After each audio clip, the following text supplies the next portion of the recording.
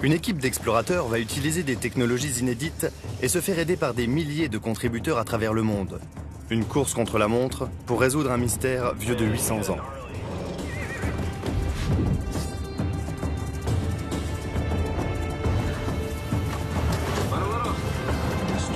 Il y a un orage violent là-bas. Je m'appelle Albert Lynn. Je suis à la recherche du tombeau de l'homme qui a régné sur l'un des plus grands empires de l'histoire, Gengis Khan.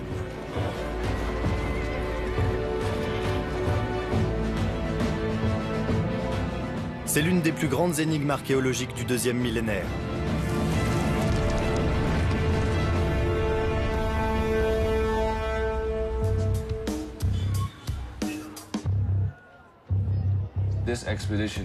L'expédition aura lieu cet été. Nous utiliserons des technologies de pointe pour trouver la tombe sans creuser et travailler sans rien déranger. Nous allons transformer la légende en réalité. Exactement. Prêt? Oui. Nous sommes à Ulaanbaatar, la capitale de la Mongolie. Obtenir le feu vert pour nos recherches sur le tombeau de Gengis Khan nous a demandé des mois de tractation avec le gouvernement et un comité d'universitaires. Ça va? Je le sens bien. Enfin, on y est. C'est le grand jour. Nous sommes fin prêts. Nous avons 31 hommes, 14 chevaux, 11 ordinateurs portables, tout un arsenal de nouveaux outils, 4 chèvres et une grande part d'inconnus.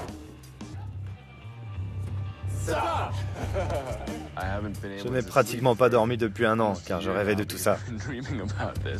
En voiture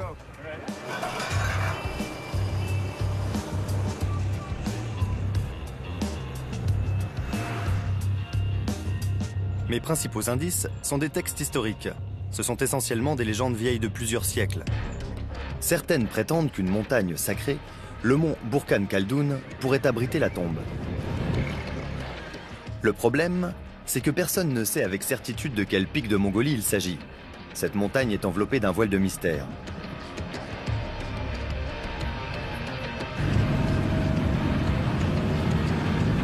Gengis Khan est mort en 1227, à 65 ans environ.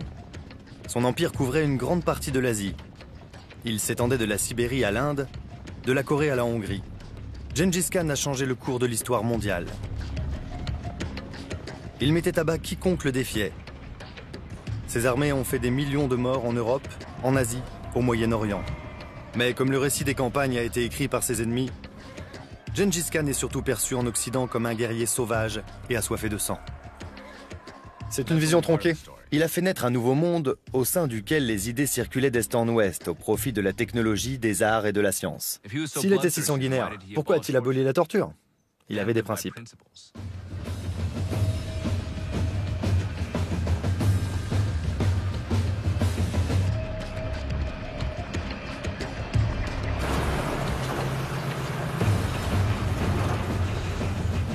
En nous basant sur les rapports d'expéditions précédentes qui ont tout échoué, nous avons ciblé une section précise des monts Kenti.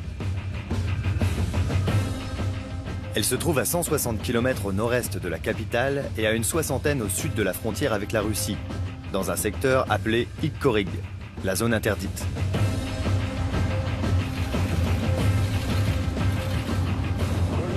À nous la montagne Là où nous nous rendons, les routes peuvent disparaître du jour au lendemain. Une équipe à cheval nous devance pour repérer les passages praticables.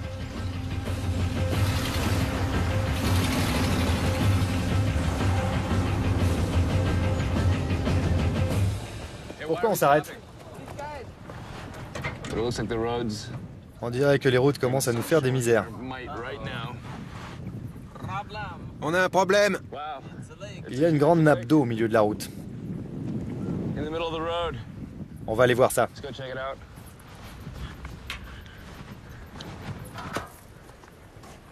Deux de nos camions sont embourbés. Vous avez un mécanicien avec vous? Il y a trois ans, si l'on m'avait demandé où je serais aujourd'hui, j'aurais répondu que je me trouverais dans un bureau à faire un travail que je n'aimerais pas. Il me restait un an avant d'obtenir mon doctorat en sciences et ingénierie des matériaux. Et je suis parti de Pékin par le transsibérien pour comprendre où voulait en venir mon grand-père quand il disait que notre famille était originaire du Nord.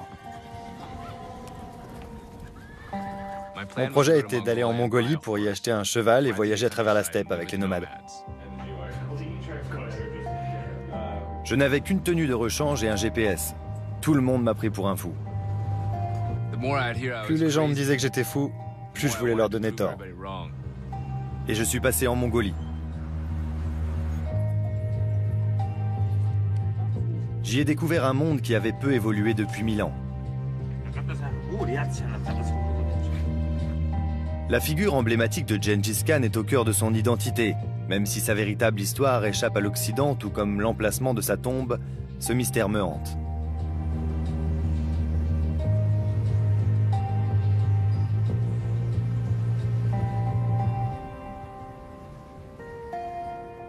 C'est un défi que je me suis fixé. Personne ne sait où se trouve sa tombe, ni comment il est mort, mais de nombreuses légendes en parlent. L'une d'elles prétend qu'une princesse captive dont il devait faire sa concubine l'aurait assassiné.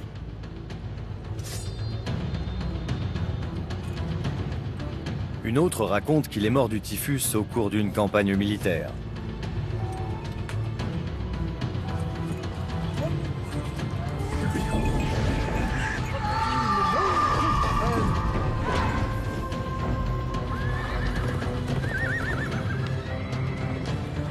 On dit aussi qu'il aurait succombé en faisant ce qu'il aimait par-dessus tout, attraper des chevaux sauvages.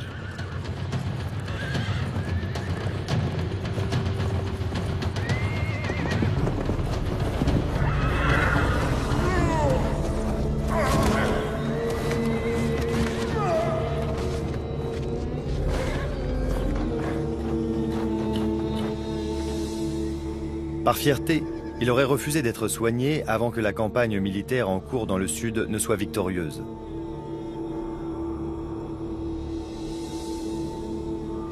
Sa mort risquait de rendre l'Empire mongol vulnérable. Elle a été tenue secrète. Ces événements ont eu lieu il y a près de 800 ans. La piste ne sera pas facile à remonter. Il faut exploiter tous les indices et utiliser tous les outils, notamment les textes historiques. À en croire l'un de ces récits, la dépouille de Gengis Khan aurait été purifiée et enveloppée dans du feutre blanc pour la préparer au long voyage vers sa demeure éternelle, la montagne sacrée. Mais où se trouve-t-elle au juste?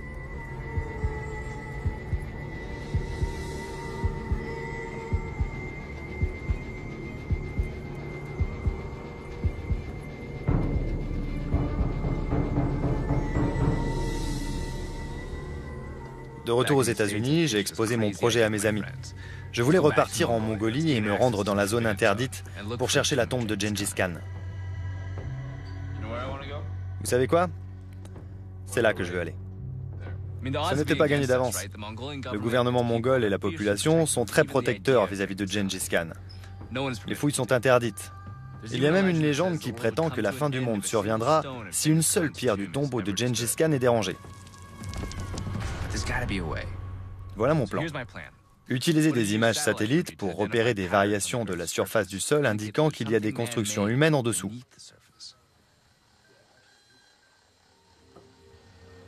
Mon idée était d'effectuer des fouilles sans avoir à creuser. Et je savais exactement à qui m'adresser pour cela. Je voulais m'entourer de gens capables de sortir des sentiers battus. Les membres de mon équipe sont tous des experts dans leur domaine.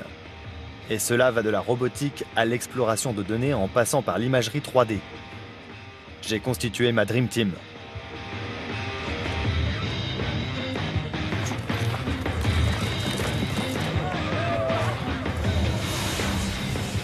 J'ai aussi à mes côtés un archéologue de National Geographic, Fred Ibert, et le professeur Chokt Ocherin Ichort, un des plus grands spécialistes de l'histoire mongole. Alors, il est coincé Oui. Malgré toute la qualité de mon équipe, nous ne trouverons jamais le tombeau de Gengis Khan si nous n'arrivons pas à dégager ce camion.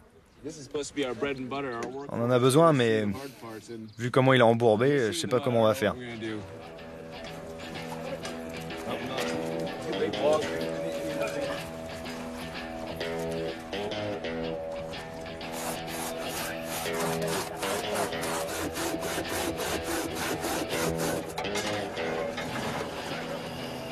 Ce camion russe gaz 66 de 3 tonnes est tout-terrain et équipé d'un puissant moteur V8.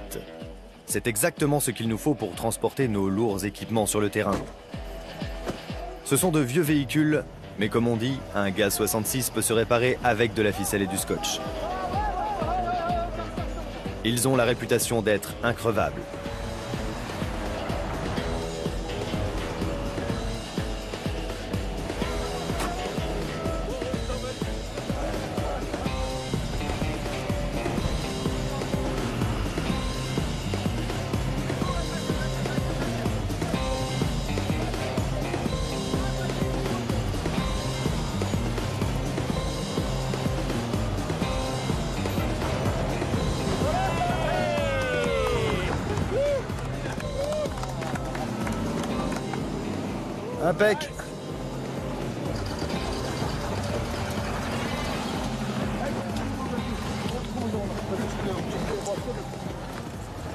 Tiré d'affaire.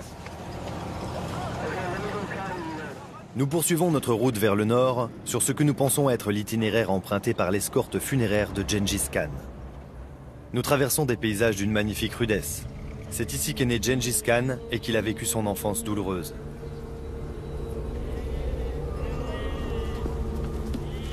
À l'âge de 9 ans, Temujin, le garçon qui allait devenir Gengis Khan, a tout perdu. Son père a été assassiné et sa famille abandonnée par sa propre tribu. Temujin, sa mère, ses frères et sa sœur ont été livrés en pâture à la steppe. Mais contre toute attente, ils ont survécu.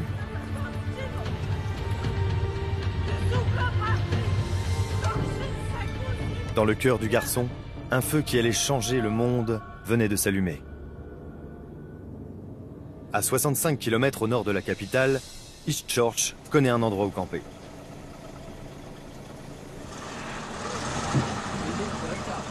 La journée a été longue.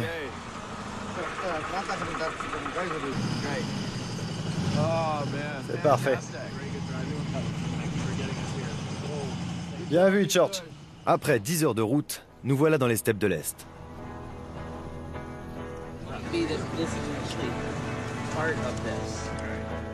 Il faut s'installer maintenant.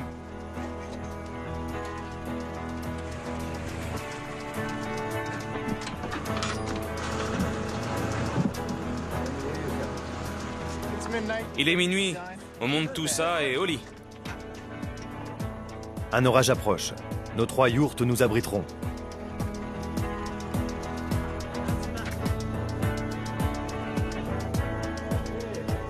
Ce sont des structures polyvalentes extrêmement simples et malgré tout chaudes et parfaitement étanches. Depuis plus de 1000 ans, les nomades les transportent à travers la steppe.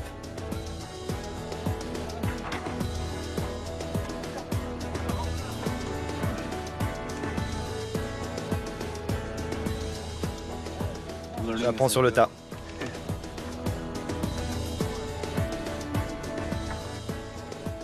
Beaucoup de gens m'ont fait confiance. Certains ont mis leur vie entre parenthèses, investi de l'argent, du temps, et on m'a donné accès à cette terre sacrée. Je n'ai pas le droit de les décevoir. Les éclairs nocturnes ont des allures de présage. Nous saurons demain s'il était bon ou mauvais. Nous approchons de la zone interdite. Le jour se lève à 4 heures. Tant mieux. Aucun de nous n'est venu ici pour se reposer. On se trouve dans une vallée située juste au sud de la zone interdite de Mongolie du Nord. Elle a probablement fait partie du domaine sacré établi par Gengis Khan. Personne ne sait quelle montagne nous cherchons. On connaît son nom, mais sans savoir de laquelle il s'agit. Il n'y a jamais eu de carte. À en croire la légende, pourchassé par une tribu ennemie qui venait d'enlever sa femme, Temujin, le jeune homme qui allait devenir Gengis Khan, aurait fui et trouvé refuge dans le Burkhan Khaldun.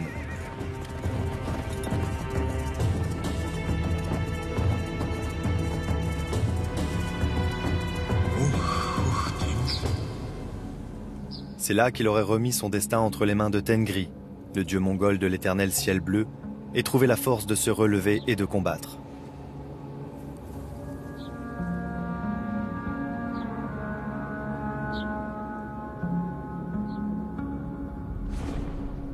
Après avoir passé trois jours sur la montagne, il est parti récupérer sa femme et se faire proclamer Gengis Khan. le souverain universel. Une incroyable transformation s'est opérée sur le Burkhan Khaldoun. C'est là que nous nous rendons. Enfin, si nous arrivons à le trouver. Le Burkhan Khaldoun n'est pas qu'une montagne. C'est une chaîne montagneuse qui couvre plus de 12 000 km. Pour inspecter une telle superficie, il faudrait que plus d'une centaine d'archéologues passent toute leur vie à ne faire que ça. Nous avons demandé à des internautes de passer en revue tout ce secteur par le biais du réseau de computation. Ils vont nous dire où aller pour tenter de trouver le Burkhan Khaldoun. Partout dans le monde, des gens nous aident dans nos recherches, grâce à ce que nous avons baptisé le réseau de computation.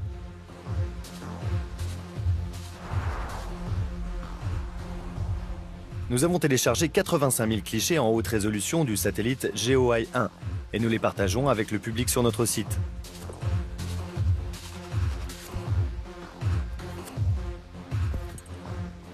À travers le monde, des scientifiques amateurs examinent ces images et signalent tout ce qui sort de l'ordinaire.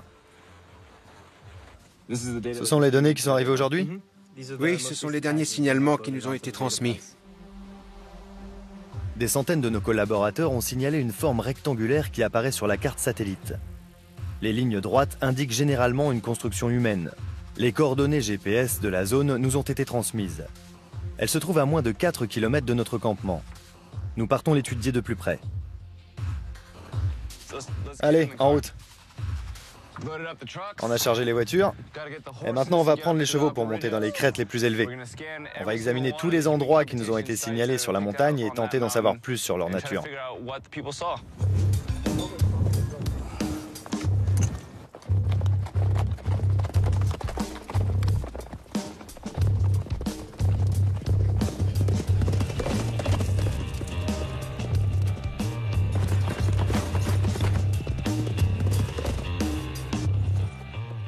Alors que nous gravissons la colline tout en gardant un œil sur notre GPS, nous tombons sur un amas de rochers qui nous avait été signalé. On y est.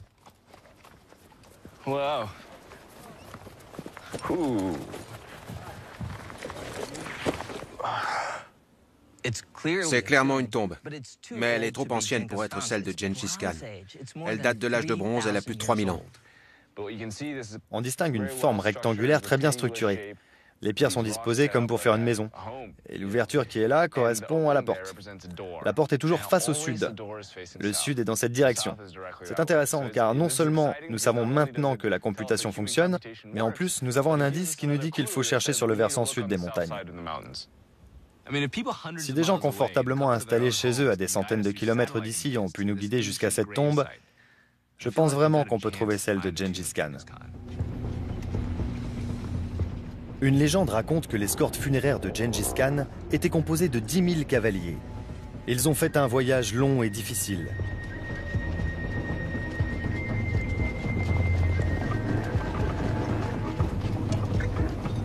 Sa mort était un secret d'État pour maintenir la stabilité de l'Empire. L'escorte a parcouru 1500 km avec des consignes très strictes. Il ne devait laisser aucun témoin.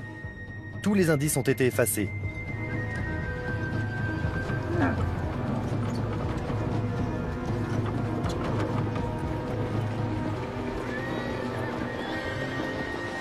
Les malchanceux qui ont vu passer la procession ont été exécutés.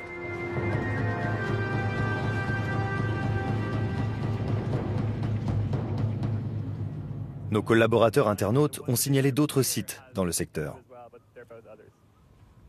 Que dis-tu de cette colline? Nous devons suivre ces pistes. Les tombes de l'âge de bronze sont intéressantes, mais nous ne sommes pas là pour ça. Depuis les airs, il sera plus facile de déterminer s'il y a des constructions qui datent de l'époque de Gengis Khan. Il nous faut des images plus détaillées que celles du satellite. Pour cela, nous disposons d'un octocoptère, un robot volant équipé d'une caméra et d'un GPS programmable. Il nous a fallu des mois pour le mettre au point. Aujourd'hui, nous allons voir si ça valait la peine qu'on se donne autant de mal. La télécommande va permettre de prendre des clichés de ce site pendant le vol. L'intérêt, c'est que la vue aérienne nous donnera une perspective totalement différente. Il faut attendre le GPS. C'est bon.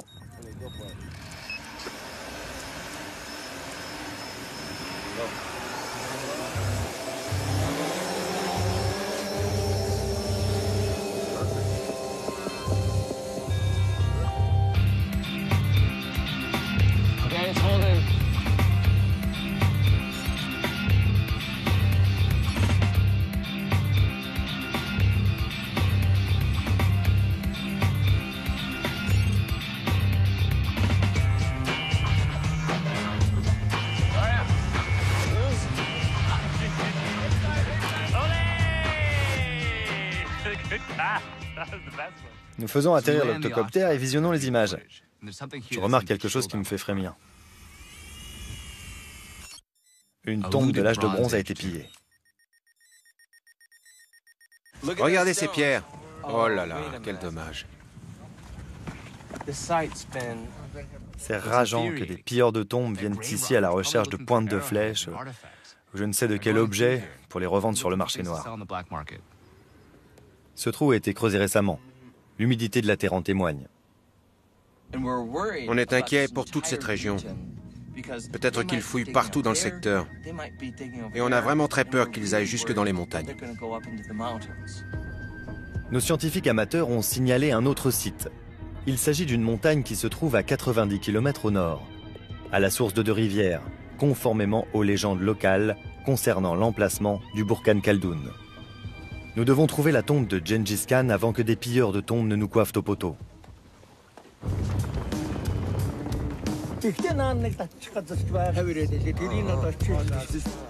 Bonne chance Au menu du jour, 90 km de chemin de terre chaotique pour rejoindre la montagne repérée par nos collaborateurs dans la chaîne du Kenti.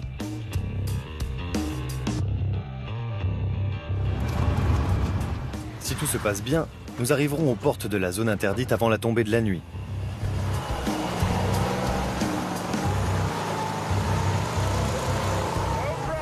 Impeccable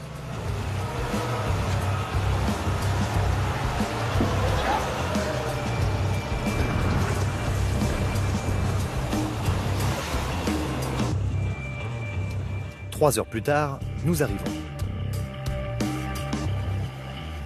Je m'attendais à voir des gardes armés et des barbelés. Mais en réalité, l'entrée de la zone interdite est davantage un symbole politique qu'une barrière physique. Oui, Church. Il nous faut l'autorisation des autorités locales. Alors, nous attendons. Une fois de l'autre côté, nous serons au seuil du domaine sacré de Gengis Khan. 20 000 km de paysages à la beauté saisissante.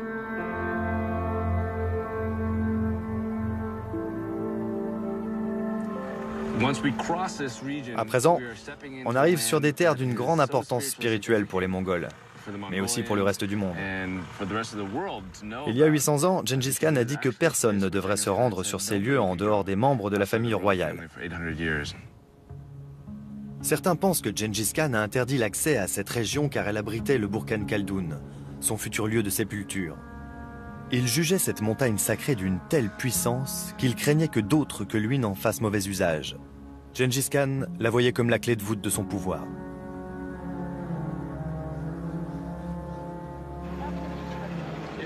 C'est bon, Church, on peut ouvrir. Les intrus ne se font plus abattre, mais ces terres sont toujours considérées comme sacrées et elles sont étroitement surveillées. Merci. Nous sommes autorisés à entrer.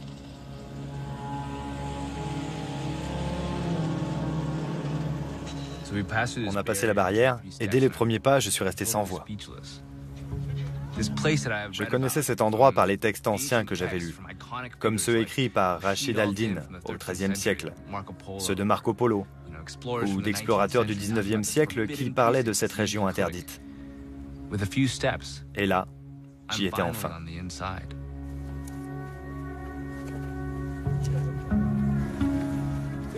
Si on se dépêche, on devrait mettre moins de deux heures. Nous établissons notre campement dans un lieu sacré où seuls quelques privilégiés ont eu la chance de se rendre. J'espère que nous sommes sur la bonne piste. Nous savons que le Burkhan Khaldoun était sacré pour Gengis Khan. Mais comment pouvons-nous être sûrs qu'il y a bien été enterré? Un indice nous vient de l'homme de lettres persan du XIIIe siècle, Rachid al-Din. Il a écrit qu'un jour, alors qu'il chassait sur la montagne sacrée, Gengis Khan aurait aperçu un arbre solitaire. Cette vision lui plaisant, il serait resté assis là une heure et aurait ordonné que le jour venu, il soit enterré à cet endroit.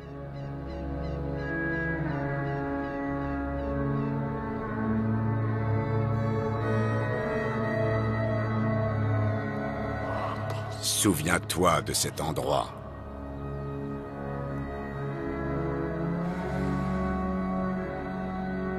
Nous devons trouver le Burkhan Khaldoun. Au petit matin, il faut de nouveau charger les camions. Réchaud, lit de camp, congélateur, chèvres, yourte. Chaque levée de camp prend plusieurs heures. Nous mettons tous la main à la pâte pour déplacer notre petit village mobile. Alors que nous nous apprêtons à partir, nous nous rendons compte que deux chevaux ont disparu. Il faudra faire avec les douze qui nous restent. Ishtorch pense qu'ils sont peut-être retournés dans la ferme où ils sont nés.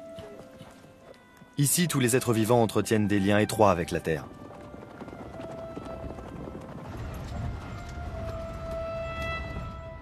Les véhicules et les chevaux entament le trajet de 40 km en direction de l'Est. À en croire notre GPS, il devrait nous mener au pied d'une montagne qui est peut-être le Burkhan Khaldoun. Mais des difficultés nous attendent.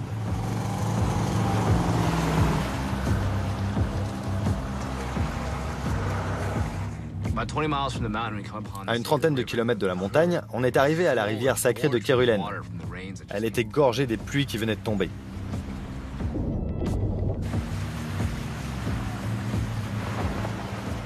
Le plus gros camion, le 66, pouvait passer. Les chevaux aussi. Mais pour les camions plus petits, qui transportaient le matériel électronique et nos appareils géophysiques, c'était mal parti. Pourtant, il le fallait. On a un câble attaché au minibus russe et on va le tracter à travers l'eau. Comment tu te sens Nerveux C'est chaud, j'ai un peu la frousse.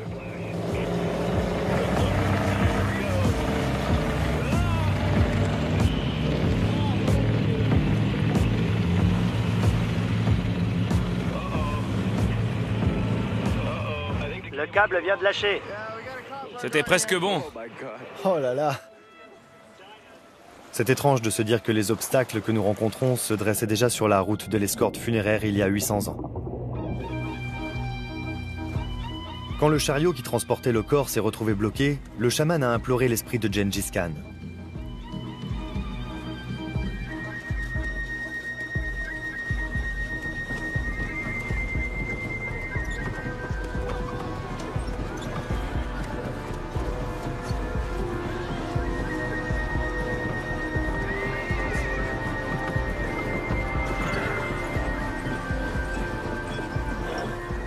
Nous n'avons pas de chaman, mais nous avons de la détermination.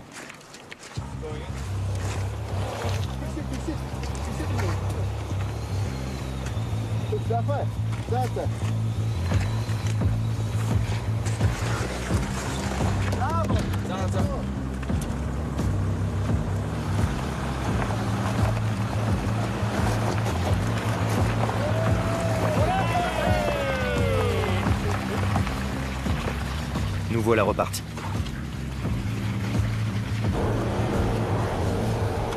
Nous atteignons les contreforts du Kenti.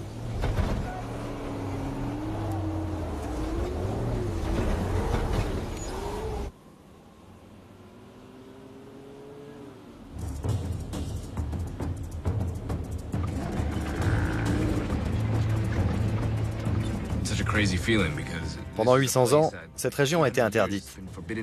Pourtant, beaucoup de gens ont écrit à son sujet et spéculé sur ce qu'elle abritait. C'est un honneur d'être ici.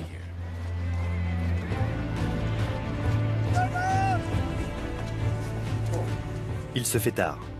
Notre GPS indique qu'il nous reste encore deux heures de route avant de rejoindre la montagne signalée par les internautes. Nous ne voulons pas rester coincés là pour la nuit et nous croisons les doigts pour que les camions ne nous lâchent pas.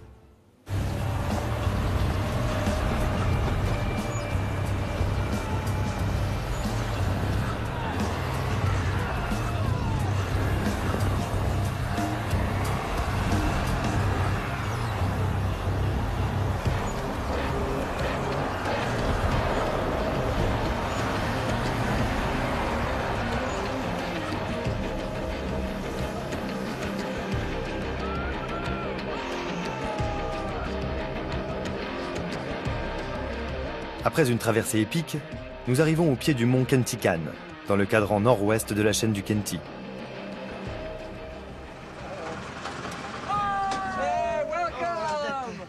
Bienvenue. Bien joué. On a réussi. L'histoire secrète des Mongols. Une chronique rédigée une vingtaine d'années après la mort de Gengis Khan nous apprend que le Burkhan Khaldoun se trouve à la source de deux rivières, comme ici.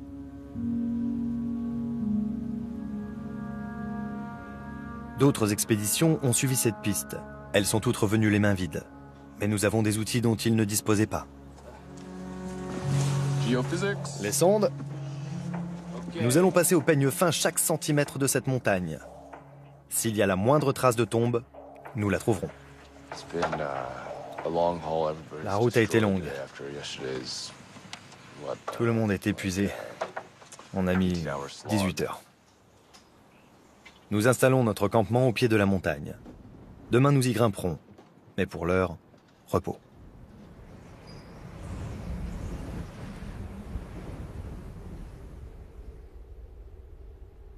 Dès le lever du jour, nous entamons notre randonnée.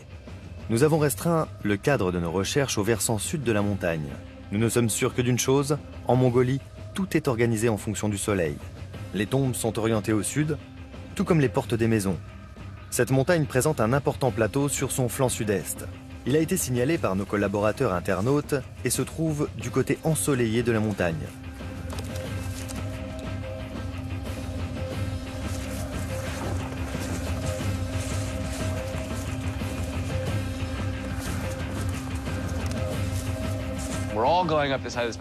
On a tous gravi cette montagne. C'était pas vraiment facile. Une fois en haut, on s'est retrouvé dans une pinette très dense. C'était un plateau, et là en face de nous, on a découvert un lieu sacré qu'on appelle un ovu. Il était couvert de drapeaux de prière bleus. Il s'en dégageait une grande spiritualité.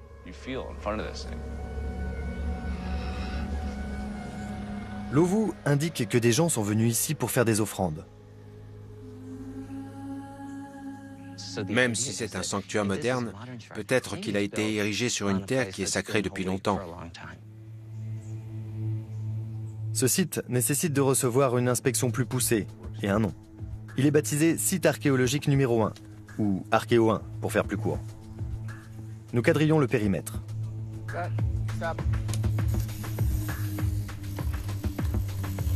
Ce carroyage permet de marquer l'emplacement de tout ce que nous découvrons. Il met en évidence les liens qui existent entre les différents éléments et nous aide à chercher des traces de construction humaine. On a trouvé des bouts de bois carbonisés. Viennent-ils d'un feu de forêt ou de l'incendie d'un bâtiment Quand on fait des recherches ici dans la forêt, c'est difficile de repérer des objets fabriqués par l'homme. Mais parfois, on y arrive. Ici, au pied d'un arbre, on a un fragment de poterie qui repose sur le sol. Chaque hiver, le sol gèle et repousse des choses en surface. C'est ce qui est arrivé avec ces bouts de poterie. Comme des policiers sur une scène de crime, nous étiquetons tous les éléments importants. Une poterie n'est pas suffisante. Si le tombeau est ici, il y aura plus d'indices. On cherche des formes linéaires. Et en marchant par ici, on a remarqué des pierres qui étaient alignées. C'est peut-être la fondation d'un bâtiment, mais il faut faire plus de recherches. Nous avons apporté un électromagnétomètre, un formidable outil de sondage. La corde est ici, et tu dois suivre la ligne à la perpendiculaire avec ça. On a acheté ces pantalons au marché noir à Ulaanbaatar, car ils ne contiennent pas de métal. C'est important pour mener cette opération. Si on a du métal sur nous, ça fausse les données. On préfère éviter. Les données seraient inutilisables. On a sacrifié notre look au bénéfice de la science. On est prêt à tout. Les vestiges archéologiques ont des propriétés magnétiques spécifiques. L'électromagnétomètre repère ces anomalies et crée une carte souterraine de ce qui a été fabriqué par l'homme. Une fois les relevés effectués, nous enverrons les données à un laboratoire de traitement via satellite. S'il y a quelque chose sous nos pieds, nous en serons informés dès demain matin.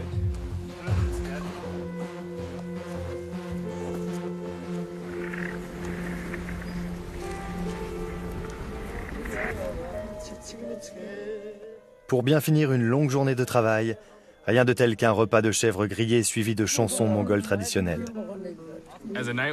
Au fil de la soirée, la bouteille de vodka est passée de main en main et on s'est mis à chanter.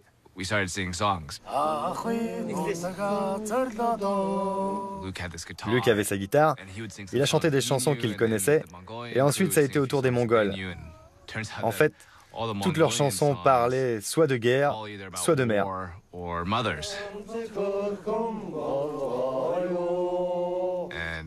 On ne comprenait pas les paroles, mais on sentait qu'elles étaient profondes et touchantes, et empreintes de spiritualité.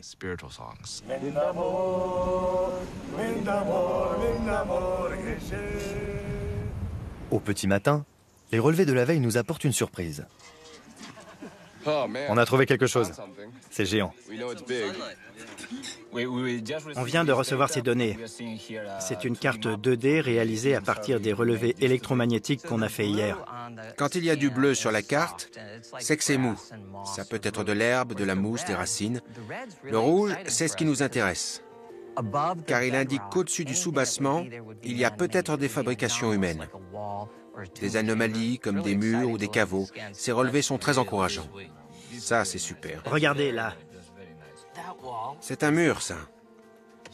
Je pense, oui. On a des lignes là et là. Les données ont confirmé la théorie de Fred. Les pierres formaient des lignes droites. C'était forcément des murs. Et la structure était très grande. On va y retourner pour effectuer des relevés de plus grande ampleur, car on s'est rendu compte qu'on était probablement tombé sur quelque chose d'encore plus vaste qu'on ne l'avait imaginé au départ. Gardez le sens des priorités. Avant tout, assurez-vous de ramener les données dont on a besoin et faites tout le nécessaire pour y arriver. À vous de jouer. Nous nous divisons en deux groupes. Alex Novo et son équipe vont élargir le périmètre de recherche sur l'Archéo 1. La deuxième équipe vient avec Ishtorch et moi pour explorer la mer de Tombe, une étrange formation rocheuse que d'autres explorateurs ont repérée. Il pourrait s'agir des ruines d'un site funéraire impérial. Nos appareils géophysiques vont nous permettre d'en avoir le cœur net. Pour y accéder, il faut gravir la montagne pendant plusieurs heures, à cheval, puis à pied.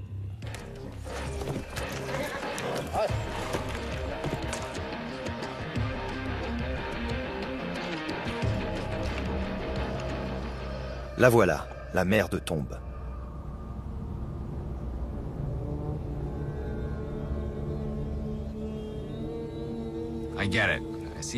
Elle mérite bien son nom. Au niveau du contrefort, le sol ressemble à un cimetière. Il y a énormément de rochers sur ce plateau. Ce qui en fait un endroit vraiment spécial, c'est sa vue sur le lac, qui a une grande signification spirituelle dans le chamanisme mongol. Il y a aussi des parties où la terre est apparente, comme celle-ci. Comme vous pouvez voir, elle a les dimensions d'une tombe, grosso modo. Nous ne sommes pas sûrs de ce dont il s'agit. Peut-être un site funéraire. Le seul moyen d'en être certain est de le scanner. Vive la science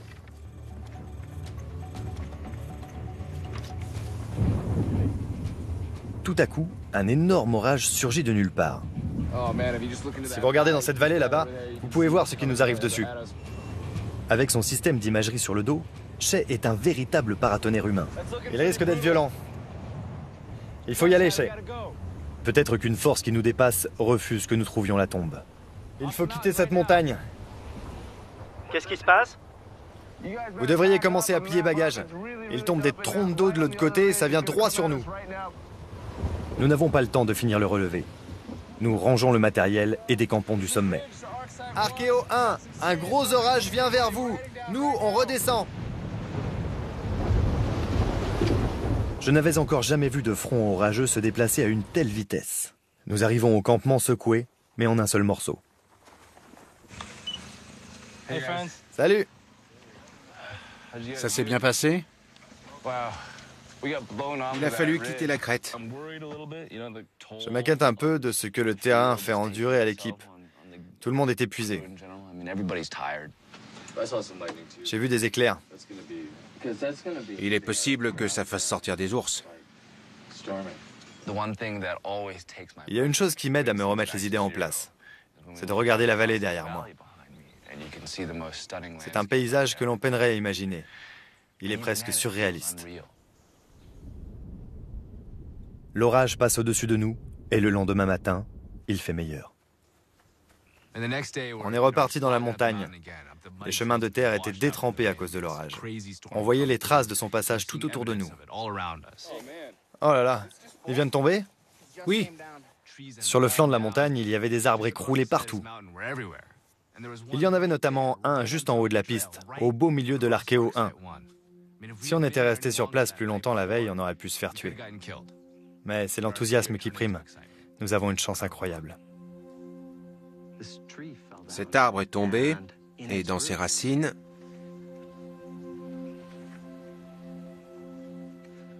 il y a la preuve que le bâtiment s'étendait jusqu'ici.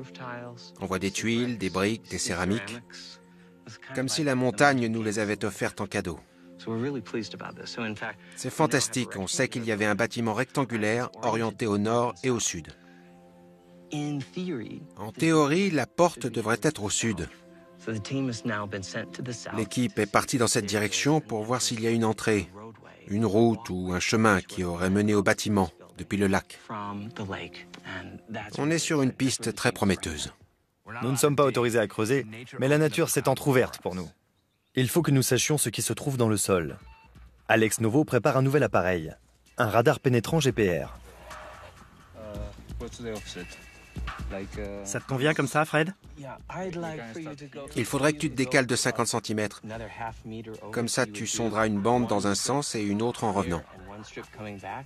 Le radar pénétrant est plus difficile à utiliser. Il demande plus de temps, mais il voit plus profond et avec une meilleure résolution que l'électromagnétomètre. On peut intégrer les données dans un logiciel et reconstituer ce qui se trouve sous nos pieds en 3D. Il permet un découpage horizontal, comme si on creusait, et il permet des découpes verticales pour visualiser les vestiges souterrains. 8 mètres 83 pour le premier profil. Puis il y a les arbres. J'adore ce radar. Cet appareil dernier cri permet de creuser sans pelle et de mettre au jour un passé enterré.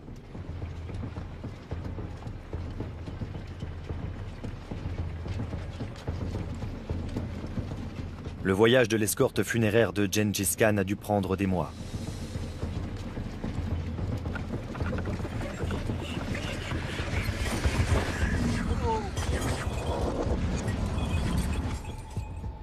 Une fois sur place, le chaman a indiqué le lieu où l'enterrer. Le lieu sacré est ici.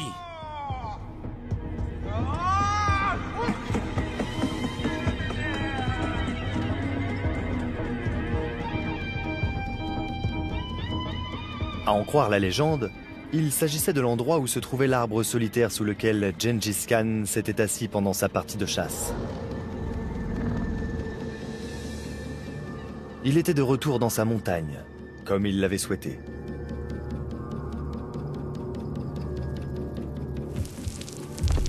Le mystère qui entoure son lieu de sépulture n'est pas un accident. Il voulait qu'il reste secret. La légende raconte qu'après sa mise en terre, 800 cavaliers auraient piétiné sa tombe et qu'au bout d'un mois, une forêt avait poussé.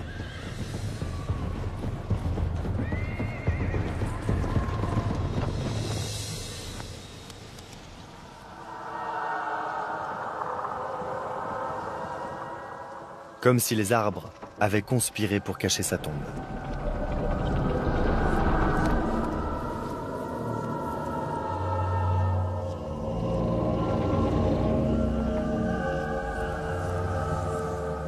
Nous avons découvert un autre arbre abattu. L'orage d'hier a martelé ce versant. Il a contribué à faire ressurgir le passé.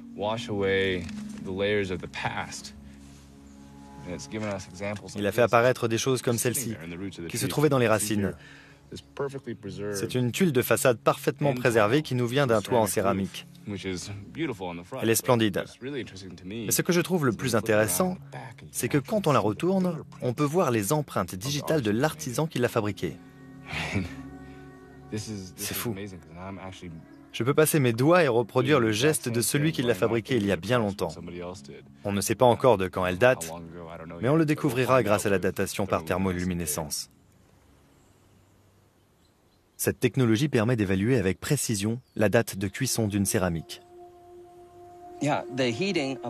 Quand elle est chauffée à plus de 250 degrés, la structure cristalline de la céramique est modifiée et des électrons sont piégés. Grâce à un programme d'étalonnage, nous sommes capables de comparer sa dose de rayonnement au sol avoisinant et de déterminer avec précision quand la céramique a été cuite. Après avoir fini de sonder la zone de recherche au radar pénétrant, nous descendons de la montagne pour traiter les données. Qu'y a-t-il sous la surface de l'Archéo 1 et à quoi cela ressemblera-t-il en 3D Pendant que nous attendons les résultats, nous nous détendons un peu. Les membres de mon équipe sont doués dans beaucoup de domaines, mais pour ce qui est de la lutte mongole, il y a encore des progrès à faire. Alex termine de traiter les données et de préparer les supports visuels. Les images en 3D sont enfin prêtes. C'est ce qui nous vient du radar pénétrant. On a une vue en 3D de la structure. Là, on a le mur externe. Pile là où tu as fait partir le carroyage, Fred. C'est bien ça, hein Oui, exactement. Les zones rouges correspondent aux fondations des murs. En plein dans le mille. Quand on descend, le mur disparaît et boum, il y a quelque chose en plein milieu. Nous ne sommes pas au bout de nos surprises. Il y a clairement une structure construite par l'homme. On distingue deux rectangles emboîtés, mais celui du milieu, à en croire ces images, est plus bas que le mur extérieur. C'est peut-être un caveau funéraire qui se trouverait sous une sorte de temple. C'est fou ce qu'on arrive à obtenir sans même creuser. Merci messieurs, beau travail. Il est trop tôt pour tirer des conclusions. Il nous manque la datation des poteries et des échantillons de bois brûlés. Fred est plus sceptique que moi. La science demande du temps. Mais je suis quand même enthousiaste. On a trouvé cette grande structure enterrée qui ressemble à un temple et on a récolté des débris sur ce qui pourrait bien être la montagne sacrée. Du point de vue géographique, elle cadre avec les textes que nous avons trouvés. Et elle se trouve au centre de la zone interdite.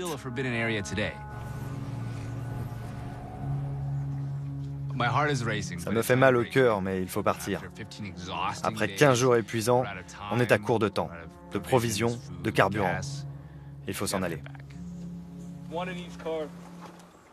La ville est à trois jours de route, car le chemin que nous avons parcouru ne peut pas se mesurer en kilomètres. C'est difficile de quitter cet endroit après tout ce que nous y avons vécu et tout ce que nous y avons découvert. La prochaine étape est la datation des tuiles et des échantillons de bois. Elle nous dira s'ils sont de l'époque de Gengis Khan. Les résultats sont tombés. Fred a pris l'avion depuis Washington pour que nous puissions les étudier ensemble.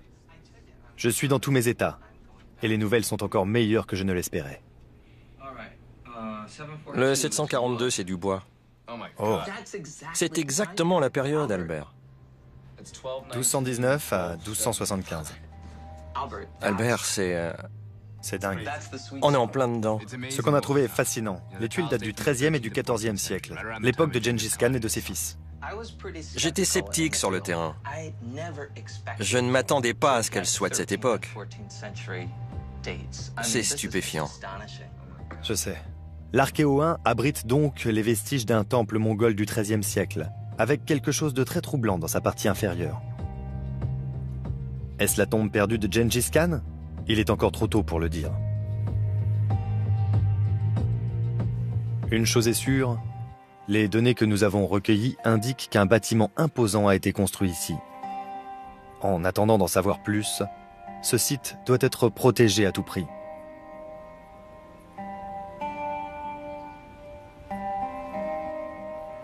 Nous allons présenter nos clichés et nos résultats au gouvernement mongol. J'aurai l'impression que nous avons atteint nos objectifs si nos découvertes renforcent les mesures de protection et le sentiment de fierté des Mongols vis-à-vis de leurs montagnes sacrées. Il y a trois ans, alors que je dormais sur le canapé d'un ami, j'ai fait un rêve qui a pris possession de moi. Je suis parti à la recherche d'un tombeau secret, dans une zone interdite. Mais ce que j'ai cherché était peut-être sous mes yeux depuis le début. On raconte que celui qui cherche Gengis Khan n'a qu'à plonger dans le regard de n'importe quel nomade, et il l'y trouvera.